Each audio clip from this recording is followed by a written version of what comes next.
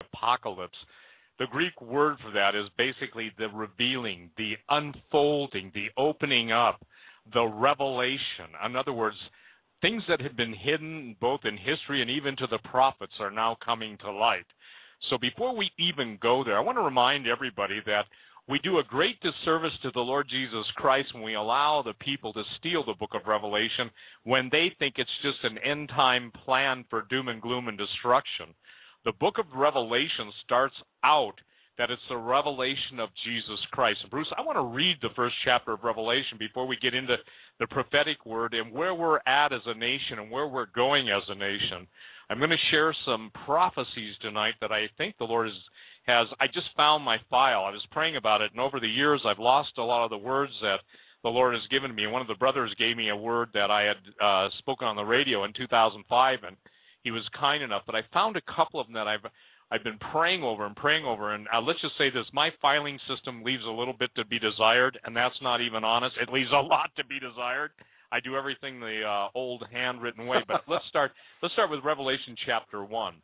Now remember, ladies and gentlemen, the world steals the book of Revelation, even all the stuff you see on the History Channel and the Discovery Channel, and they make it something other than it is. It's the revelation of Jesus Christ. And uh, yesterday and today I've been praying, oh God, open the eyes of your people that they might behold the king they claim. And I want to hear say that again. Oh God, open the eyes of your people that they might, uh, uh, you know, uh, basically see and and perceive the, the, the king they claim. In other words, most people can, uh, you know, imagine Jesus, but we're not to rely on our vain imaginations. We're to see him as he really is. So I'm going to read the first chapter of Revelation. We got plenty of time tonight. We've got three hours. A revelation of Jesus Christ, which God gave unto him, to show unto his servants things which must shortly come to pass. And he sent and signified it by his angel unto his servant John John who bore record of the word of God and the testimony of Jesus Christ and of all things that he saw. Blessed is he that readeth and they that hear the words of this prophecy and keep those things which are written therein, for the time is at hand. John to the seven churches which are in Asia, grace be unto you and peace from him which is, and which was, and which is to come, and from the seven spirits which are before his throne and from Jesus Christ, who is a faithful witness and the first begotten of the dead, and the prince of the kings of the earth, unto him that loved us and washed us from our sins in his own blood, and hath made us kings and priests unto God and his Father. To him be glory and dominion for ever and ever. Amen. Behold, he cometh with the clouds, and every eye shall see him, and they also which pierced him, and all the kindreds of the earth shall wail because of him. Even so, uh, amen. Jesus speaking, I am the Alpha and the Omega, the beginning and the ending, saith the Lord, which is and which was and which is to come, the Almighty. I, John, who am also your brother and companion in tribulation, I want people to understand that. Companion tribulation, the kingdom and patience of Jesus Christ, was on the isle called Patmos for the word of God and for the testimony of Jesus Christ. I was in the Spirit on the Lord's day and heard behind me a great voice as of a trumpet, saying, I am the Alpha and the Omega, the first and the last. And what you see, write in a book and send it unto the uh, seven churches which are in Asia, unto Ephesus, and unto Smyrna, and unto Pergamos, and unto Thyatira, and unto Sardis, and unto Philadelphia, and unto Laodicea. And I turned to see the voice that uh, was speaking to me. It actually says that spake me, but I'm just making it easier. And being turned, I saw seven golden candlesticks. And in the midst of the seven candlesticks, one like unto the Son of Man, clothed with a garment down to the foot, and girt about the paps with a golden girdle. His head and his hair were white like wool, and as white as snow, and his eyes were as a flame of fire, and his feet like unto fine brass, as if they burned in a furnace. And his voice is the sound of many waters. And he had in his right hand seven stars, and out of his mouth went a sharp two-edged sword, and his countenance was as the sun that shineth in his strength. And when I saw him, I fell at his feet as dead. And he laid his right hand upon me, saying unto me, Fear not, I am the first and the last. I am he that liveth and was dead, and behold, I am alive forevermore. Amen, and have the keys of hell and of death. Write the things which thou hast seen, and the things which are, and the things which shall be hereafter. The mystery of the seven stars which thou sawest my hand, right hand, and the uh, seven golden candlesticks, the seven stars of the angels of the seven churches, and the seven candlesticks which thou sawest are the seven churches. Now, Bruce, I want to go to, before we get going, we're talking about salve tonight, and the anointing oil to hear. We'll get to this uh, parable of having ears to hear and eyes to see and uh, hear not and seeing not. But right now, we need to go to Revelation chapter 3, and then we'll get into some prophetic words, and I'll go where I believe the Lord is leading us. I was blessed to have uh, Pastor uh, John Kyle and Linda pray, and they're praying right now for this, and others, uh, Daryl and everyone, Romy, the intercessors are out there. Diana, thank you. I thank you, Sue. I thank you so much, uh, Manette, for praying for tonight. These are people that are praying and fasting and calling on God for his message to come forth.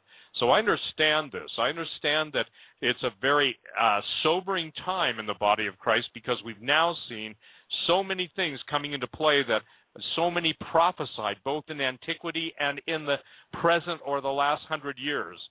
Now Revelation 3:14, says this, And unto the angel of the church of the Laodiceans write, lukewarm, that's what Laodicean uh, they were known for. These things saith the Amen, the faithful and true witness, the beginning of the creation of God.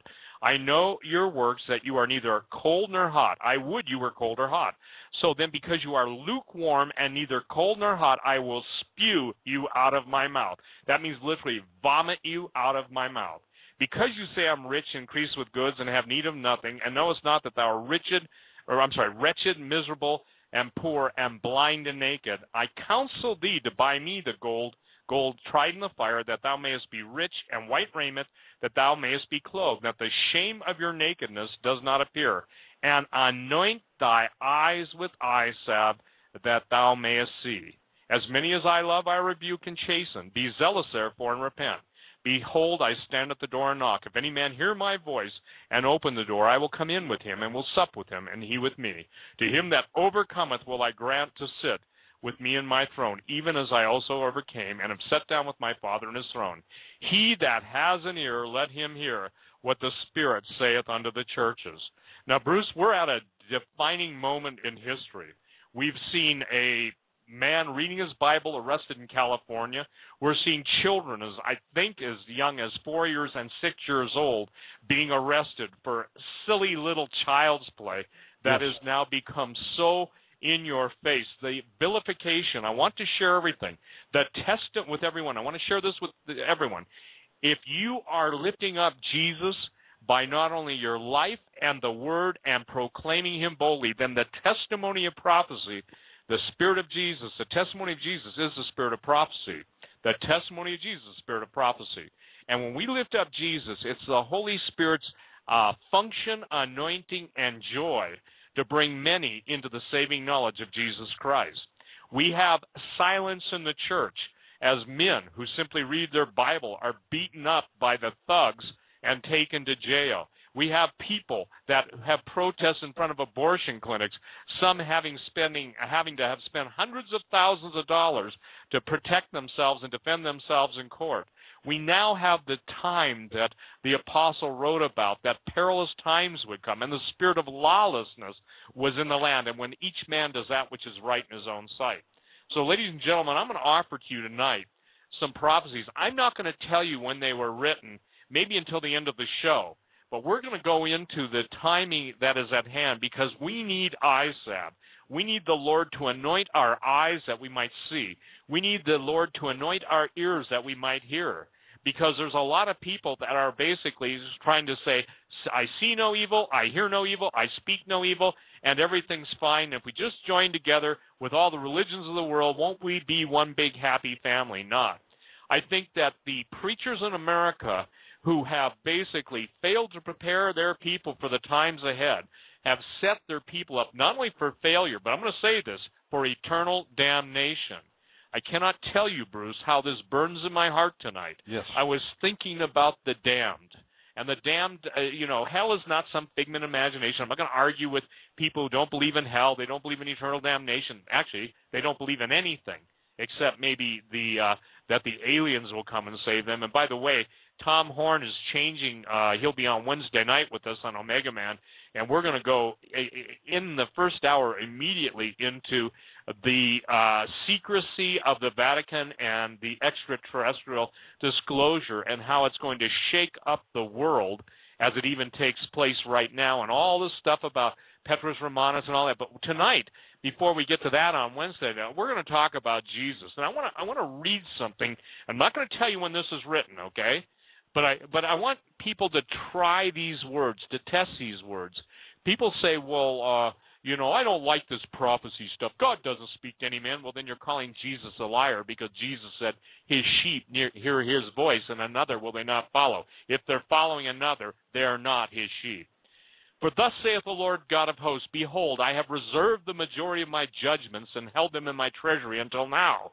For hear this, O land that has forsaken me, and done great wickedness in my sight. The keys to my reserved judgment have now been unlocked, and great darkness will come against you. Your food supply will waste away before you, yet you will not notice it until it is too late. Your weather will turn against you in unparalleled violence, damage, and destruction, and men will blame it on this or that, but they will not acknowledge their sin or transgression before the Lord God of heaven. Disease, plague, and pestilence will be multiplied throughout the land, where at first thousands will become sick, but as the time progresses, rapidly millions will die. Have I, the Lord, not declared that I will use the very devices of the wicked and the evil one to judge themselves? Yea, they shall be taken away by their own craftiness. Considering, and I'm sorry, concerning the condition of my church that dines deliciously at the words, uh, at the world's plate, hear the word of the Lord. I will prune them as a vine dresser seeks to cut back the tree branches that don't bear fruit, so that the new blossoms can come forth at their approved and appointed time. Be assured of this, my people, that the commercial temples of mammon that you now see before you will not be around much longer to cast a stumbling block before my people and profane my name before this nation. My people, have you not heard the judgment must begin at my house?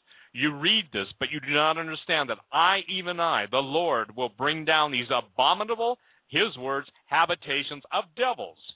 For thus saith the Lord God of heaven, I will yet return to my people in great glory and in great power, with mighty miracles and my strong arm of deliverance to build up and empower my people for this great end-time confrontation and destruction of the powers of darkness.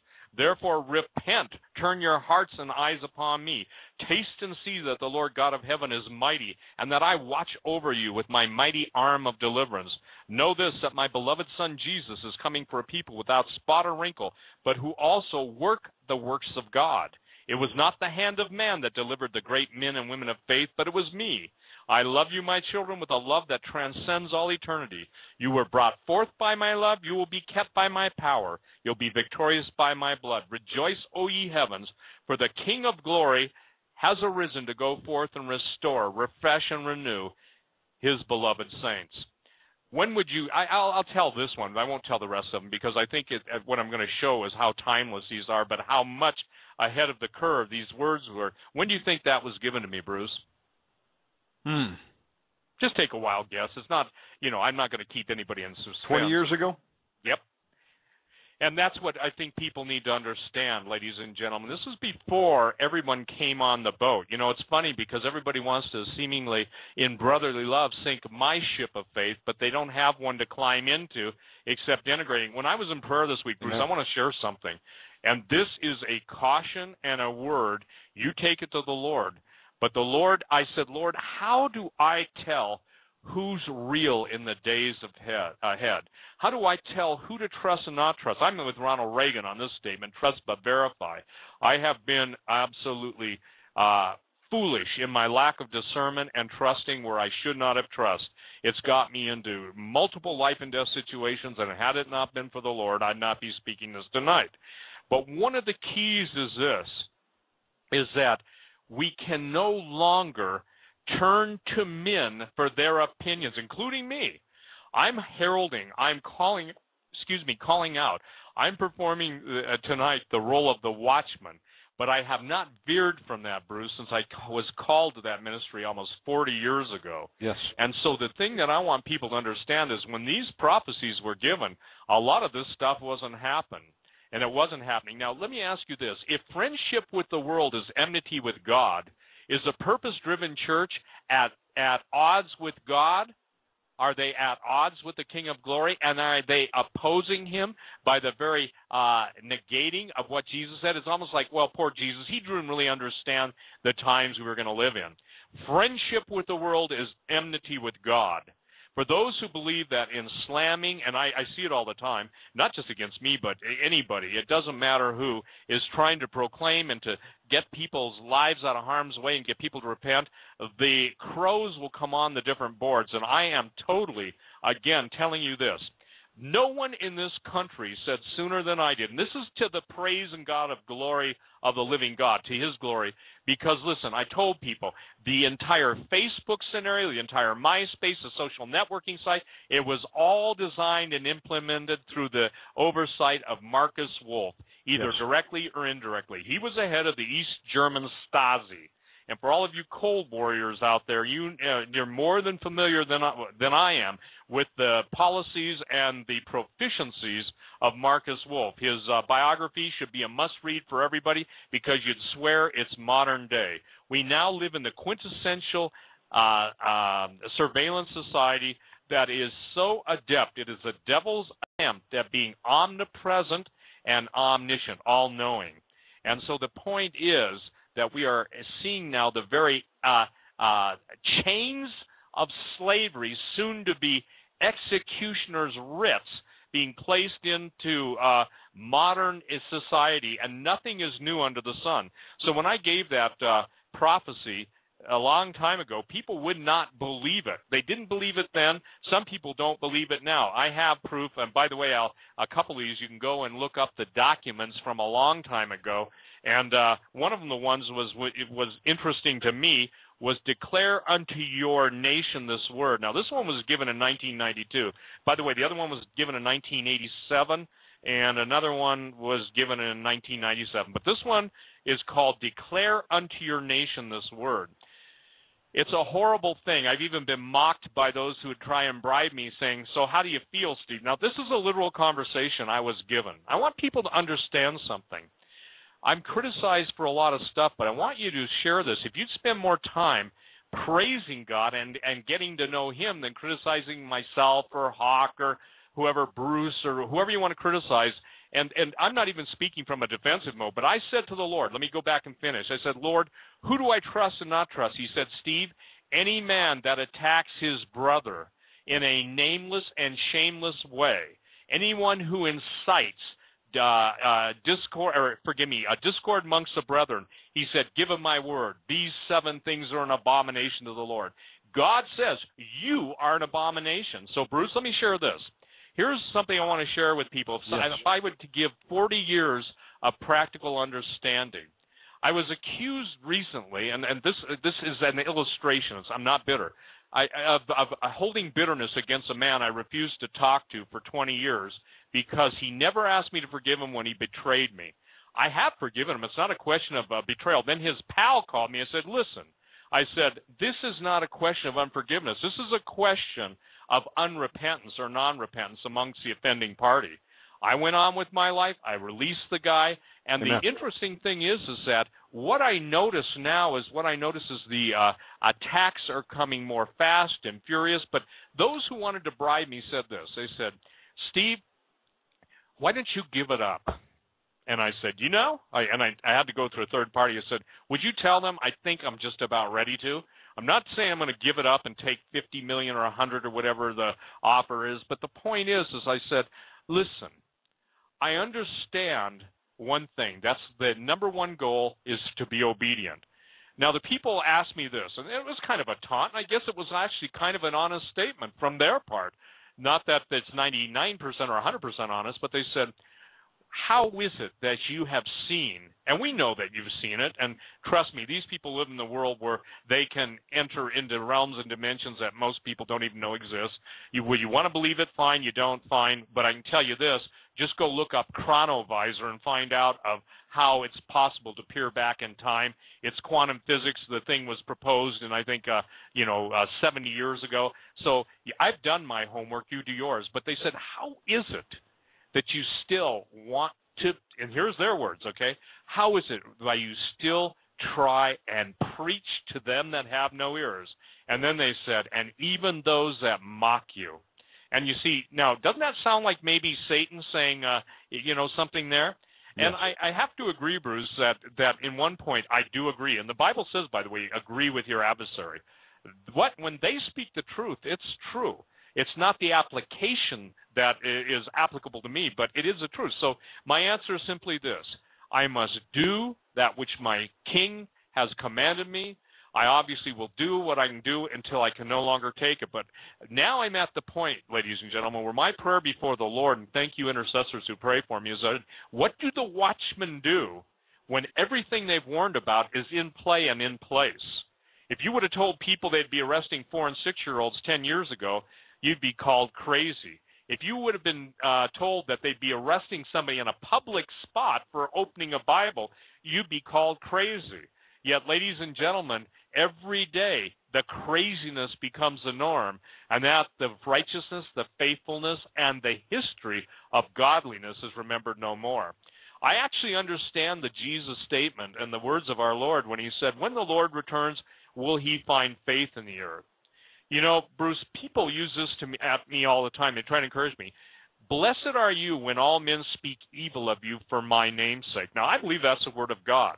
Jesus said, they hated me, they're going to hate you.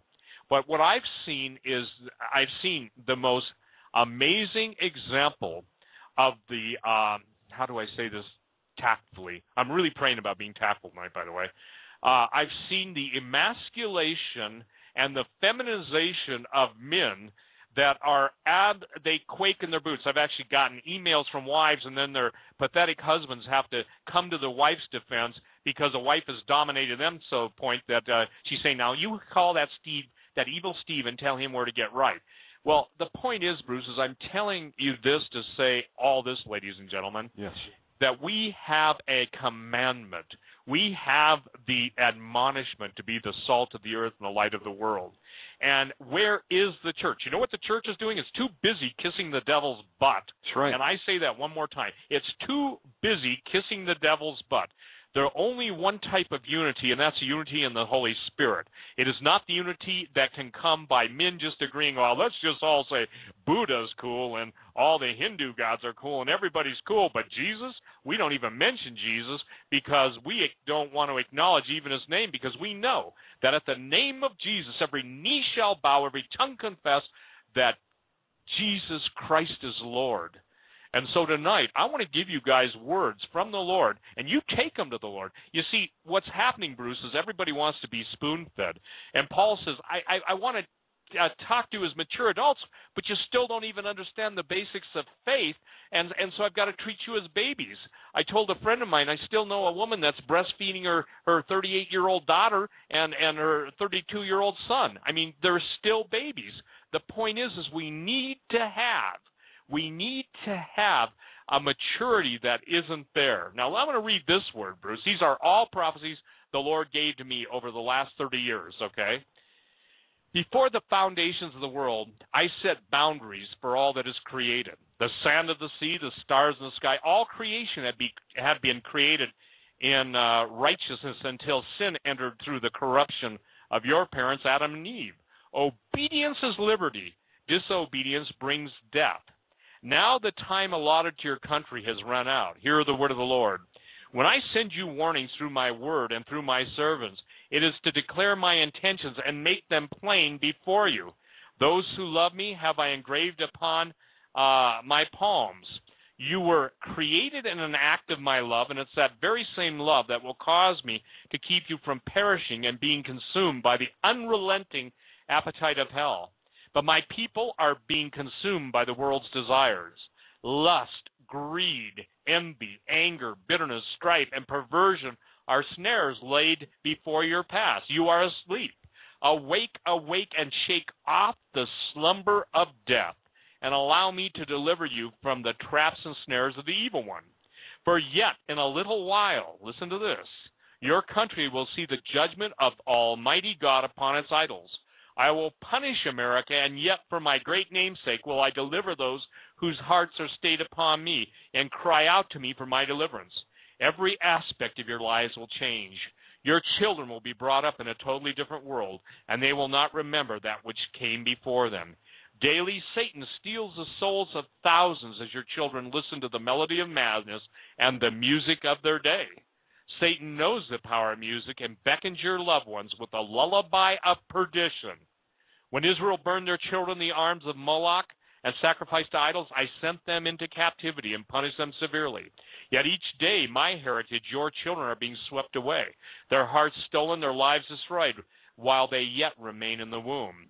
The government of your land worship at the altar of Mammon. The evil they do is an affront to my righteousness, an attack upon my throne, and now hear their judgment. In one day I will bring down their financial system. The entire world will stand in awe. The politicians will run to and fro, unable to do anything to stop the onslaught of my judgment. Your country will come to a virtual standstill. Your country, uh, no planes will fly, no trains will run, no trucks will run.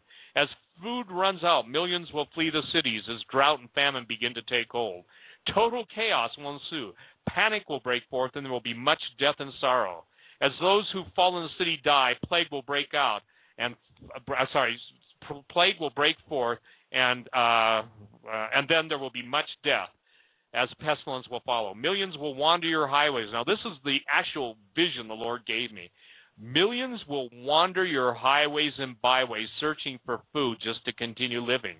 The wild beasts and the tribes of men will pursue and attack and take away even that little which those fleeing possess.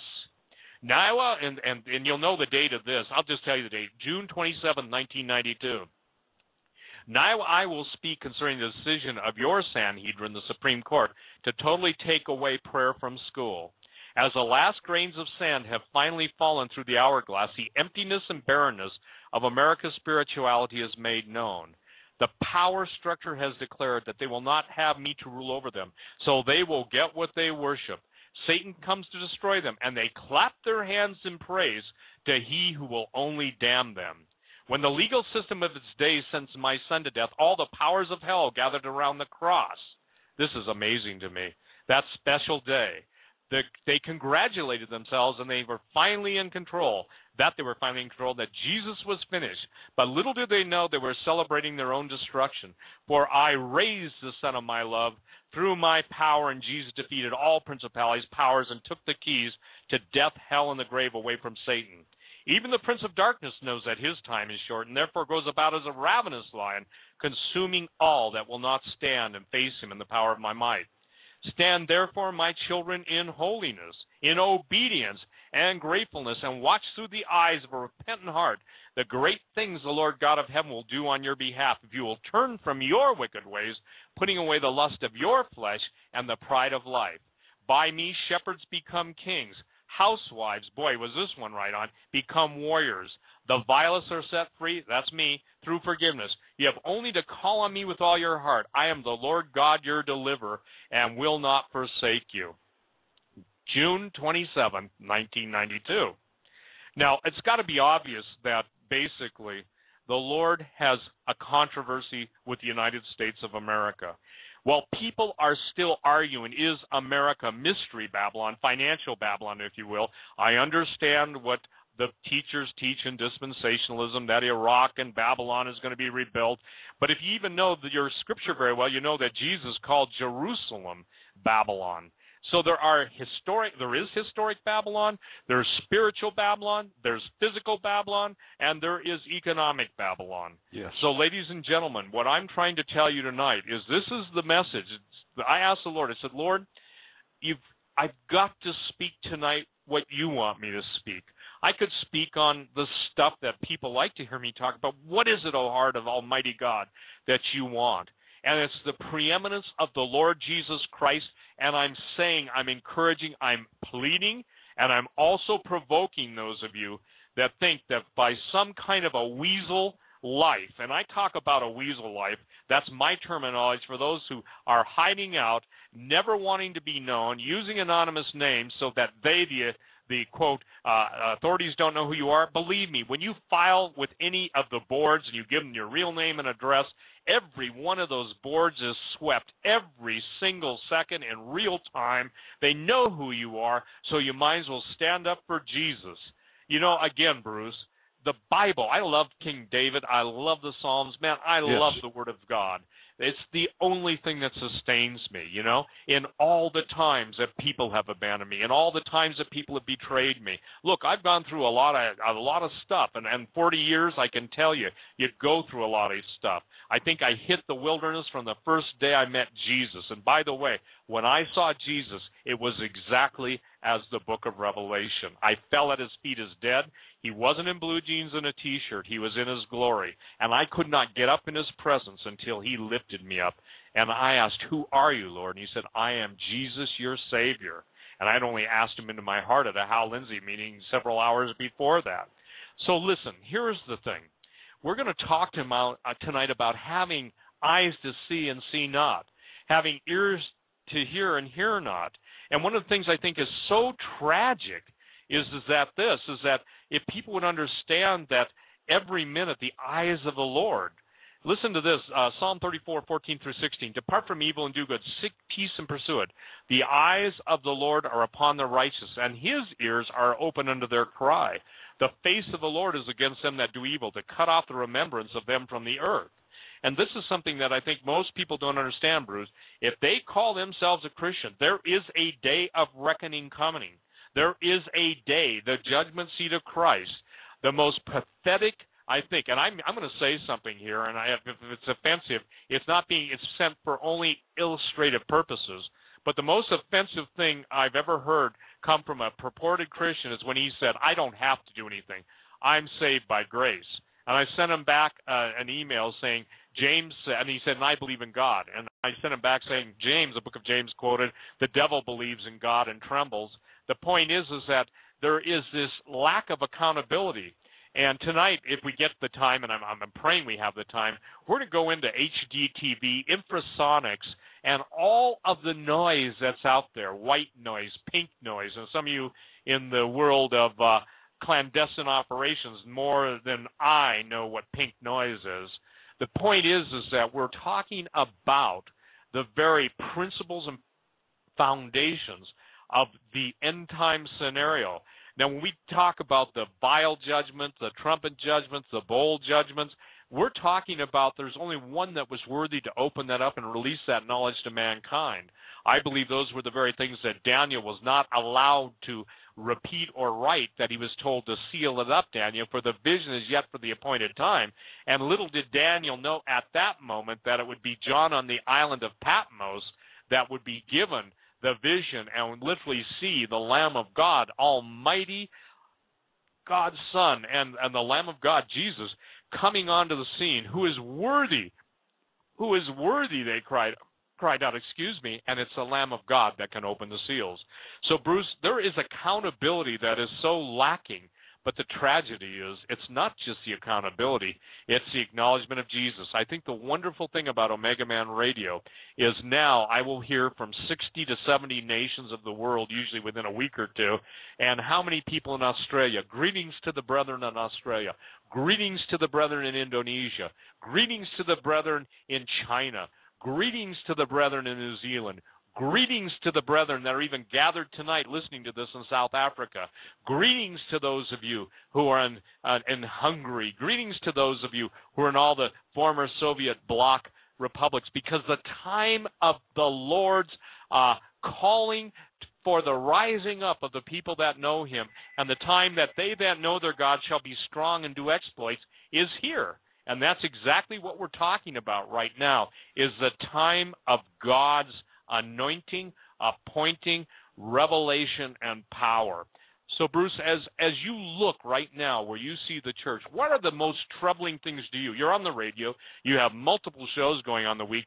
But do you think, and, and, and this isn't a trick question, but do you think, does it indicate that more people are starting to see that they're accountable to the Lord Jesus for what they do? Steve, uh, certainly we are going to be accountable.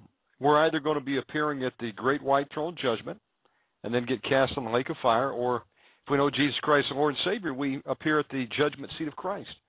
And we've got to give an accounting for everything we've done here. So that to that guy that said that it's all about grace, well, salvation is by grace and not works lest any man should boast, but then faith without works is dead.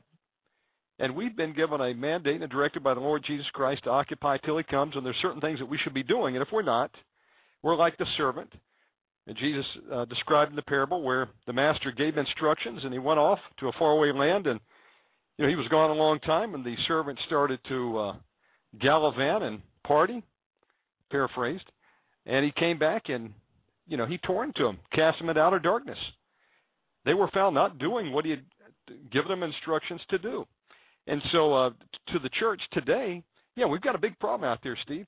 We've got uh, the purpose-driven life out there where they basically want people to compromise, okay, in, in favor of so we can all get along. And, I mean, what apostasy that is. You know, let's, uh, we're all worshiping the same God, they'll tell you. You know, Muslim, Christian, pagan, we're not all worshiping the same God, clearly. The Muslims worship a demon called Allah. But well, we've got compromise in the church, Steve. We've got a group that already believes that we're in the new millennium and that uh, Jesus Christ has already come back. There's no tribulation to go through. There's no Antichrist. There's no mark of the beast. They're out there just re- rejoicing and having a party. You've got another group that uh, is is totally in the matrix, asleep. They believe that we don't need to talk about anything that we're talking about tonight, and we don't even need to read Revelations because we're not going to be here for it. Then we've got others that are just living their best life now, and it's like the Philistines have shown up and they're asking, uh, who's going to come up and fight Goliath here? And Steve, nobody is picking up the sword by and large and going up against Goliath. And it's a shame. And what are we going to say when we stand before the Lord Jesus Christ and give an accounting? We're going to, it's going to be a sorry state. We may have made it in to heaven, but we'll lose our reward. You know, uh, I may have said this story before, but uh, you know Michael Boldea, the uh, son of uh, grandson of Dimitri Duduman, Steve. Yes. Great man of God. You know, he uh, was an interpreter for his grandfather from about age 12. Went around the country with him for you know many years, and he got to the point a few years ago. He said, "Well, you know, I've been serving the Lord for over 25 years. I think my job's done." And the Lord showed him a vision. He took him over to a ravine had him look down into the canyon, and he looked down and saw all these warriors around their campfire sharpening the swords, had their tents, their fires lit there, and he said, uh, what do you see? He said, it looks like uh, an army preparing for battle. The angel said, correct. Now, what would you call a soldier who on the eve of battle abandons his post and goes AWOL? You know, uh, AWOL basically, right? He says, now, I train you for this time. You can stay in the battle, or you can leave and lose your reward. And I think we're we're approaching that right now. I believe the greatest war that's ever been fought on this earth is about to be waged, Steve, and the church is not prepared. Many are going to faint when the persecution comes. You mentioned the man that was arrested for reading the uh, the Word of God. We've got the, the people overseas are being put in jail in some of these Arab countries for standing up for Jesus.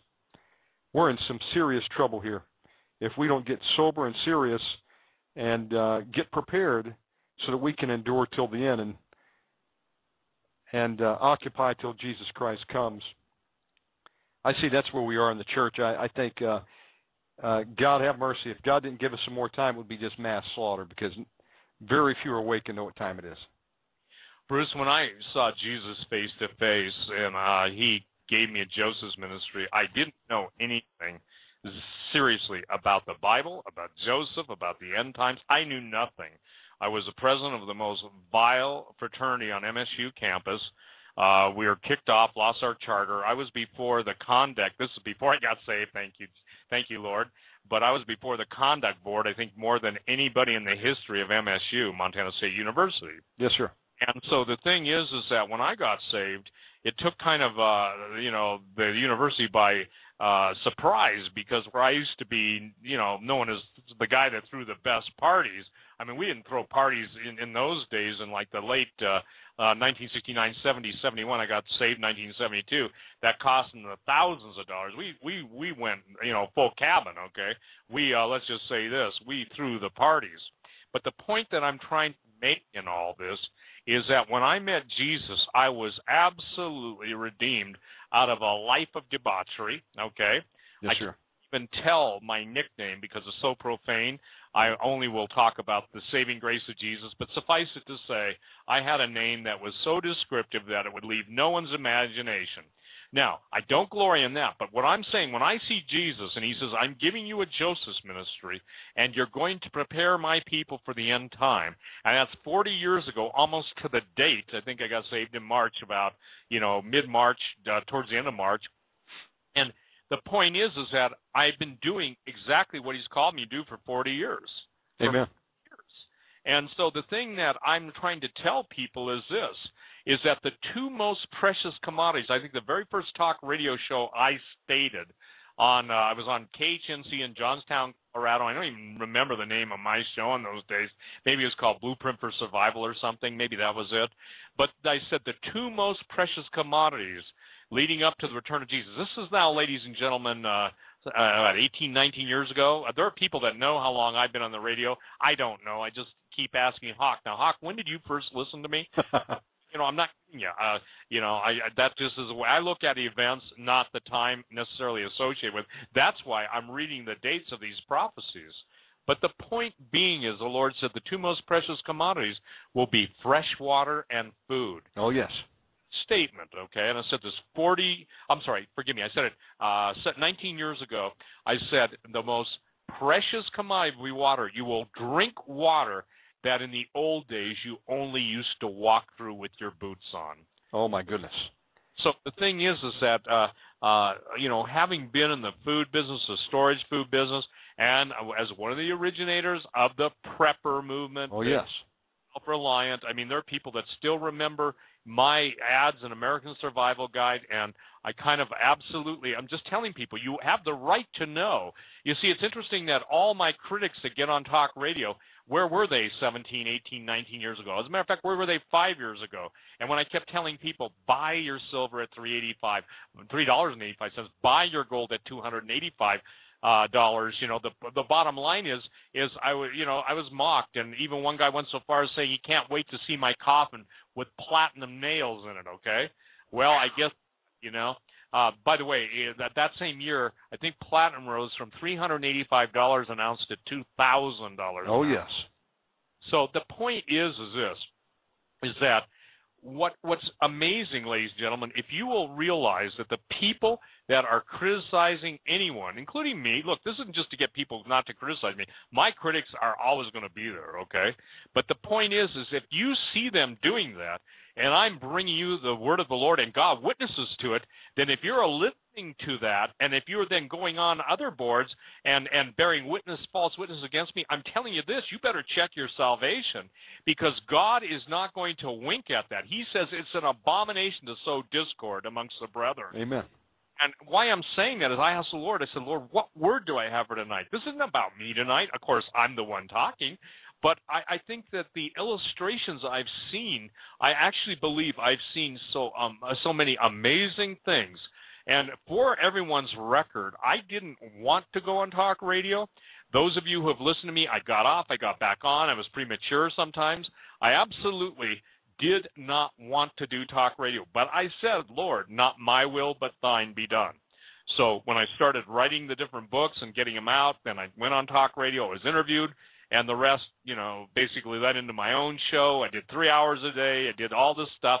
And in all in all, I thank the Lord for one thing that's never changed and never will change by the grace of God, because that is the immutable power of the name of Jesus. Amen.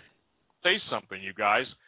Jesus is, some people say, well, it's Yeshua. Well, when Jesus appeared to me and he said, I am Jesus, your Savior, if he would have said Yeshua HaMashiach, I probably would have said, what? You know? now, I understand that I, and, and then I get the people that would say, well, you couldn't have seen Jesus because Jesus' name is Zeus. I can tell you this, the lead rabbi that just passed away saw the name of Jesus in the Bible codes and even the number of each consonant in the specific uh, references in Isaiah 58 spelled out Yeshua, and I have no problem with Yeshua. I'm only telling you this to tell you that you can make a God in your own image, or you can read the Word of God, ask the Holy Spirit to reveal the heart of the Father. When Solomon had a choice of any choice in the world what to ask God for, he asked for a discerning heart that he might discern this great a people. And Bruce, most people forget this. In the Second Chronicles 16:9, for the eyes of the Lord run to and fro throughout the whole earth hmm. to show himself strong on behalf of them whose heart is perfect towards him. Herein thou hast done foolishly. Therefore, from henceforth now you'll have wars. It, it, the, the history of the Old Testament, the New Testament, is God made a difference and Jesus makes all the difference in eternity. Yes. That's my and, and, and look, ladies and gentlemen, if you think by keeping quiet about Jesus you're doing God a favor, I'll remind you of a word. Jesus said, if you won't confess me before men, I won't confess you before my Father which is in heaven. That's right. And absolutely the word of God. It's not just me, it's the word of God. Steve, there is no name more hated anywhere in the world than Jesus Christ. Yep. Go figure. It's because that's the Son of God. Oh, hey Bruce, where where can people go? I'm getting people saying they can't get on the streams. Where's the best place for them to go right now? Okay, there are two places that you can listen to the broadcast, folks. You can go to omegamanradio.com or you can go to blogtalkradio.com slash omegamanradio. Uh, we're streaming through both right now. If you're having trouble with your browser, uh, in one, go over to the alternate system. Some people need to update their software they may be using an outdated browser, and uh, therefore the widget may not work at Omega Man Radio, but blogtalkradio.com is our uh, backup system, and that's uh, clearly streaming. If someone wants to email me, omegamanradio at yahoo.com, I can walk you through some specifics. But uh, no, we're broadcasting live, folks. This is a live broadcast. This is episode 618. Guest is Steve Quayle, stevequayle.com. Steve, it is uh, it is late in the hour uh, in the um, for for America, and uh, things are just moving fast. Can you believe how fast this year is going by? I can because again, I, I can share this. I believe it's God's mercy that's speeding up the time. Jesus himself said, except the days be short and there be no flesh left alive. Bruce, when I first wrote Genetic Armageddon, and, and I am going to make this claim, when the Lord said, Steve, I'll open the doors for you to speak, and I'll bring the people to you if you'll be faithful to warn my people. Everybody laughed and jeered and thought I was going in some haywire cult because I was uh, talking about the reality of history and the the uh, non-canon books of the Bible, canonical books of the Bible, the book of Enoch, the the book of Giants. I even had two pastors take on a poor guy, one of our listeners, and and just absolutely they didn't refute what I said by uh, by uh, uh, the scripture. They just basically blew it off and, you know, basically said he believes the giants are coming back to eat people on the earth. Well, ladies and gentlemen, you can go to YouTube videos and see people serving dead cadavers and practicing cannibalism or read about the guy that ate his uh, former crime mate and put the rest of his body through a uh, meat grinder. You see, Bruce, the, the bottom line is, is that Christians have become aseptic to the point where they no longer want to get their hands dirty. And God's saying, don't you understand you're in the most polluted world that exists? You're in the most disgusting time period. And my glory is what will wash you. My blood will bathe you. My power will fill you if you'll but call upon my name. And they say, no, thank you. You know? Let me share this. This was a prophecy given uh, 15 years ago, okay? By the way, it's huh, weird. Uh, April 13th, 1997. Thus saith the Lord God of heaven. Again, for those listening in, these are prophecies given to me over the last 20 years.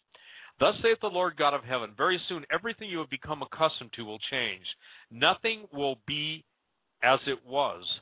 The very foundations of your nation have been destroyed. Notice that, ladies and gentlemen, 1997, past tense. Leaders from other lands cons conspire. They divide up the spoil.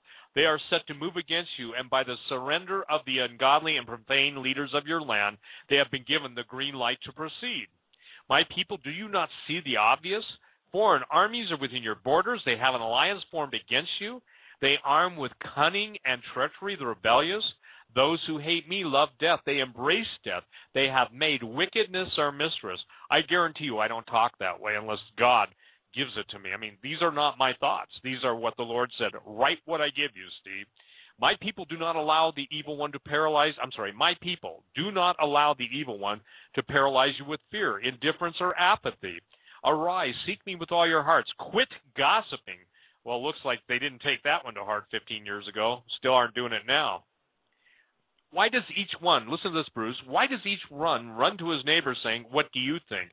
Trying to find counsel at the hand of man.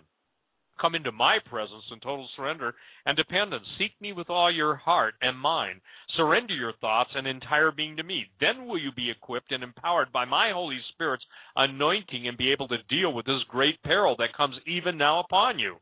You feast while you should be fasting. You ignore the signs of the times that have made you aware of through my word that should be prompting you to prepare. You assume when instead you should be crying out to me for my revelation, my direction, and deliverance. What answer will you give to those who are dead in their trespasses and sin as the weather becomes more erratic? When the harvests are cut off, when the water turns to blood and are spoiled, when your cities are inflamed and destroyed from within and without?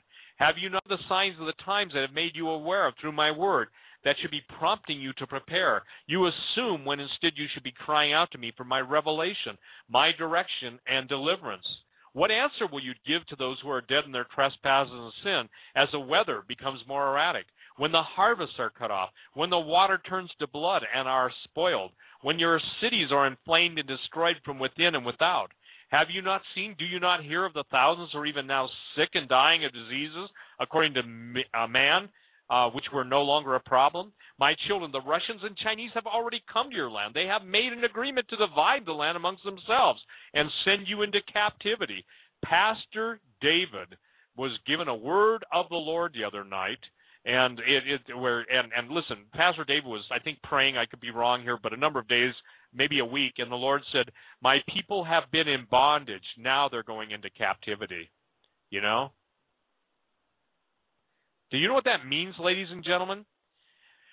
I, am going to tell everybody what that means because I saw what it meant, and I'll, I'll share some stuff. See, Bruce, sometimes I've learned that I cannot share what I want to share, and I get people telling me who have absolutely no credits to their name or any standing up for Jesus, tell us what you really know.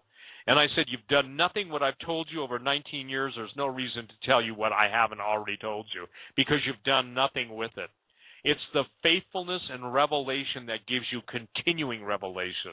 If you don't speak with the, and then I love the crew that steals each man's words from another, puts their name on it, puts a book out, and just oh, yeah. absolutely takes it as their own, you know? But let me give you this. I want to read this again because uh, uh, my children, the Russians and Chinese have already come to your land. They have made an agreement to divide the land amongst themselves and send you into captivity. That means people in this country are going to go be slaves in other country. And for the women on the West Coast, if you'd go and listen to uh, Henry Gruver's vision of the Chinese, when you put all of your particulars I'm telling you this, whereas the old day the people in the West could order from the East through a Sears network, you on Facebook and MySpace have already been divided amongst the spoils. You probably can't receive that. But when you understand that you're going into captivity, accept you, I'll tell you what, it literally causes me to weep. I saw the slaughter of untold millions of Americans. I saw it. I could smell it, Bruce. And then the Lord in his mercy said, but Steve, I'm going to take it all away from you except the things that you are to warn my people of. And as it gets played out in the time shortly before it happens, I will give you recall. And he said this to me. He said, and I have to do it because my people have not the ears or heart to embrace it. Remember this, ladies and gentlemen. I read to you the, the scripture out of the lukewarm church. Jesus' words are, he's going to vomit you out. Are you lukewarm? That's your issue before the Lord God of heaven. Yes. Listen, here's something powerful, and this gets me. For those who would say, but God would never judge America, look at all the good she's done.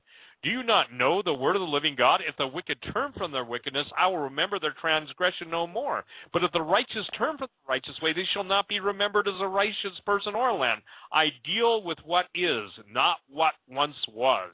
Amen. Is that for a powerful word? It you know, sure is. Pastor David Langford calls those nuggets. I thought, man, Lord, I'm all hung up on what was, you know? And, and all of us who are dealing with our past, you know, I thank God for those of you that didn't have to come to the way I came by the past I had. For somebody says, well, I don't have a testimony. I lived for Jesus from the time I was six. I said I would have given my eye teeth to live for Jesus by the time. But you know, Bruce, I stand on this. I stand on the fact that to them who have been forgiven much, they love much, okay?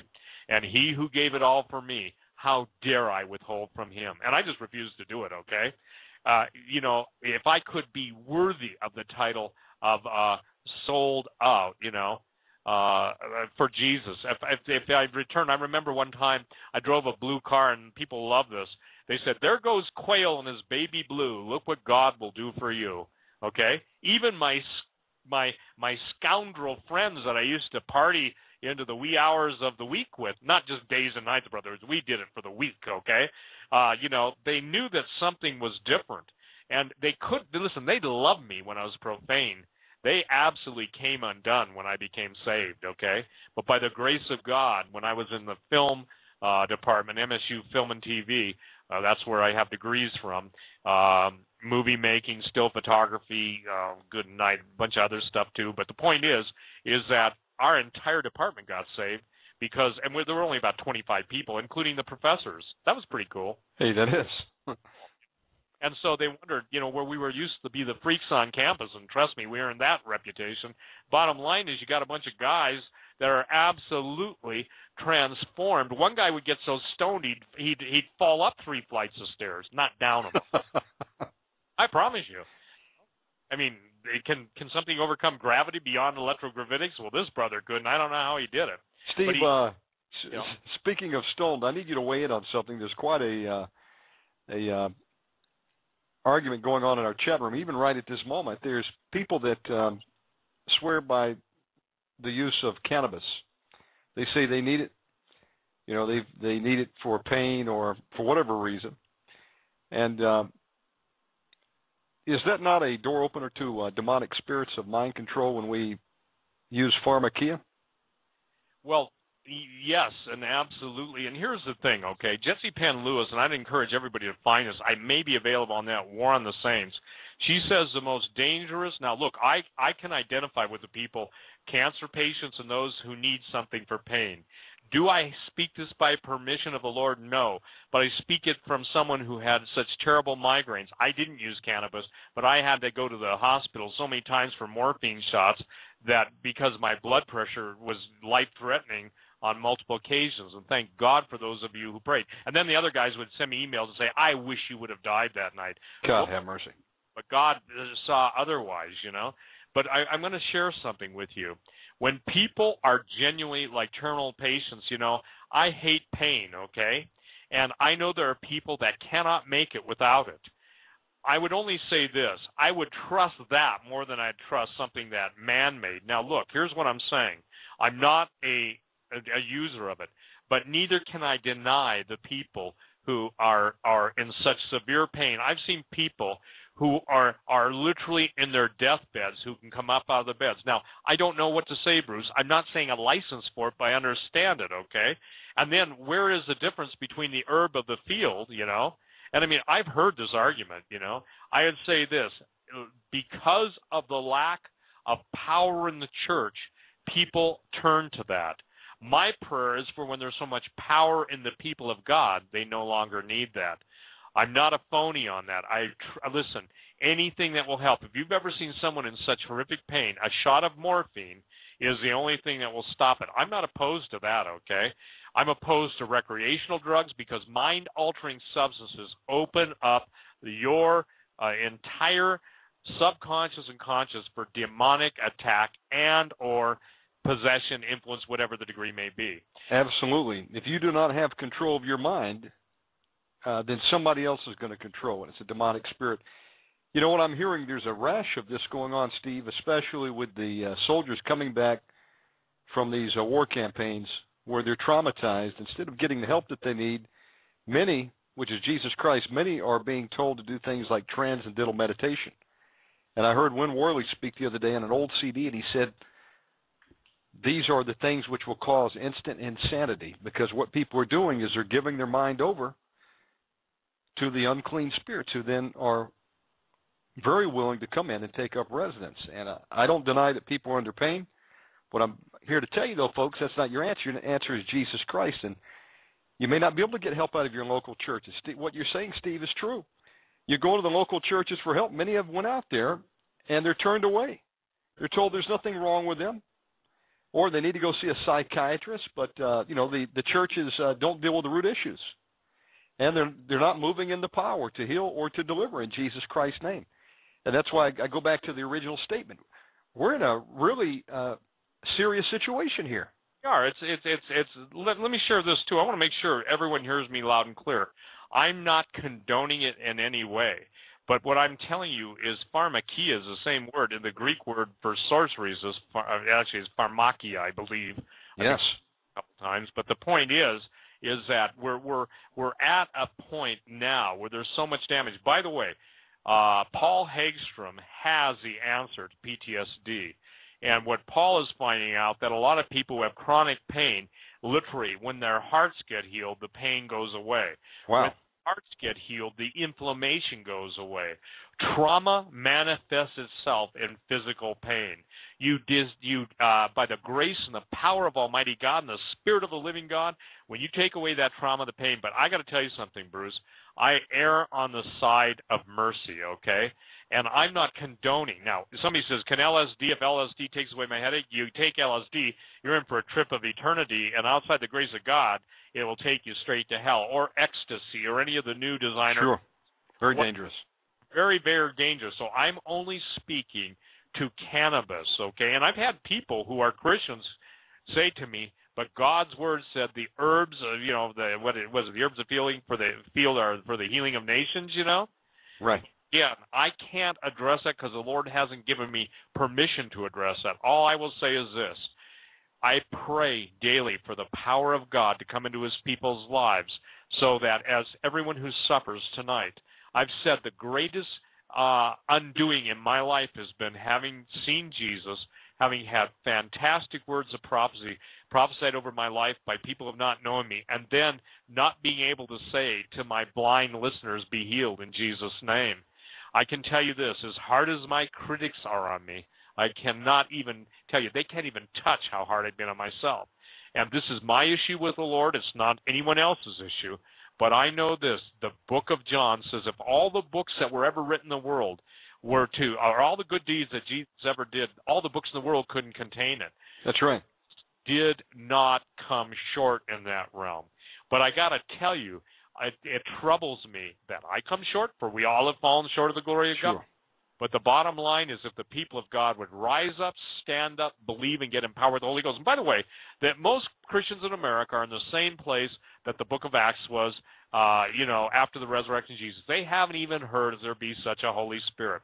I talk about the Holy Spirit on talk radio, and I'm accused by a Mormon uh, double agent of being a spiritist, okay? Oh, my goodness and then the, and and and so the thing is is that a spiritist come on i don't believe that jesus and satan are buddies and that when we get to heaven that we have uh, perpetual sex with anybody's wife that we just kind of claim for our kingdom of debauchery.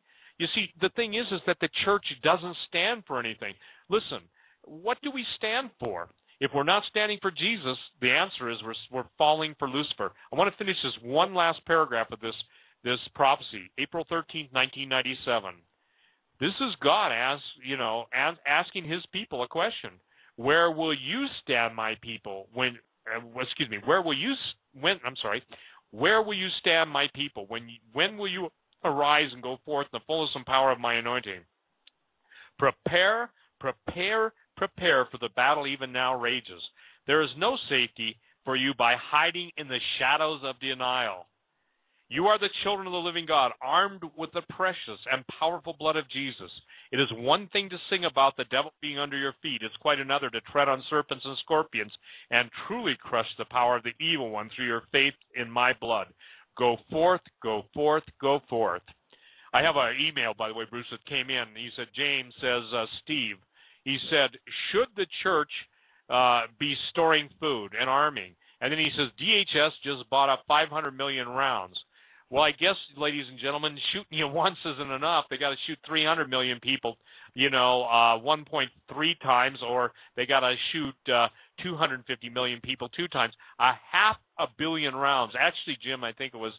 I would say this: in all matters of preparation, we have some pretty amazing illustrations from the scripture, okay? We have the issue first and foremost of Noah being told to build the ark. Amongst the mockery, amongst the scoffery, amongst the debauchery, Noah prepared an ark to the building, uh, for the building and the saving of his family. Then we've got the marvelous Joseph's dream. Joseph was the one to ultimately make a way for the children of